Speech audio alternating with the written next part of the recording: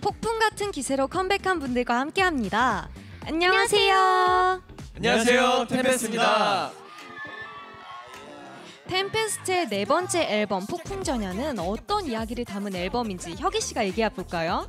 네, 저희 네 번째 미니 앨범 폭풍 전야는요. 폭풍 시리즈의 서막을 알리는 앨범으로 어떤 시련이 와도 꿋꿋이 나아가겠다는 청춘의 모습을 폭풍으로 설정한 앨범입니다. 오, 좋네요. 네, 루 씨와 화랑 씨는 이번 앨범 전곡의 작사에 참여하셨더라고요.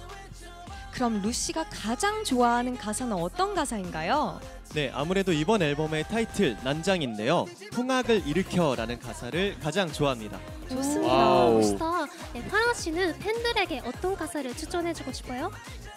네 이번 앨범에 수록된 I'll Be There이라는 곡 안에 맘처럼 되는 일 하나 없을 때 잠시 멈춰서서 돌아봐 줄래 라는 오. 희망적인 메시지를 담은 가사를 추천드립니다. 오.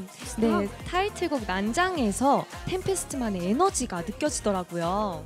네, 맞아요. 혁이 씨는 난장을 어떤 분들에게 추천하고 싶어요? 네, 말씀 주신 것처럼 굉장히 에너지가 넘치는 곡이기 때문에 음. 매일 출근하시거나 등교하시는 이제 직장인분들이나 학생분들께 추천드립니다. 오, 네. 그러면 템페스트의 컴백 무대가 정말 기, 기대됩니다. 잠시 후 좋은 무대 보여주세요. 네, 네. 계속해서 첫 번째 솔로 앨범을 발표한 기욱 씨가 기다리고 있고요. 네, 매혹적인 애연 씨도 준비 중입니다. 먼저 상큼한 드림노트의 무대부터 만나볼게요.